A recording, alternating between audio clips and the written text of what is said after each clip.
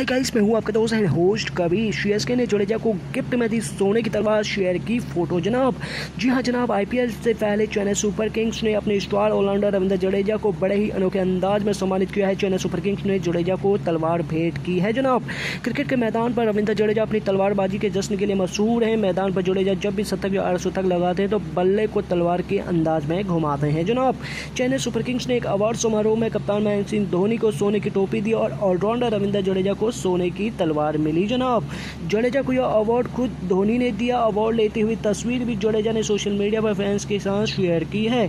साथ ही आईपीएल के इतिहास में जडेजा सौ से ज़्यादा विकेट और 1900 रन बनाने वाले इकलौते भारतीय खिलाड़ी हैं। जडेजा ने आईपीएल में 108 विकेट अपने नाम रखे हैं और आईपीएल के इतिहास में जडेजा इकलौते बाएँ हाथ के स्पिनर गेंदबाज हैं, जिनके नाम 108 विकेट दर्ज हैं, जनाब।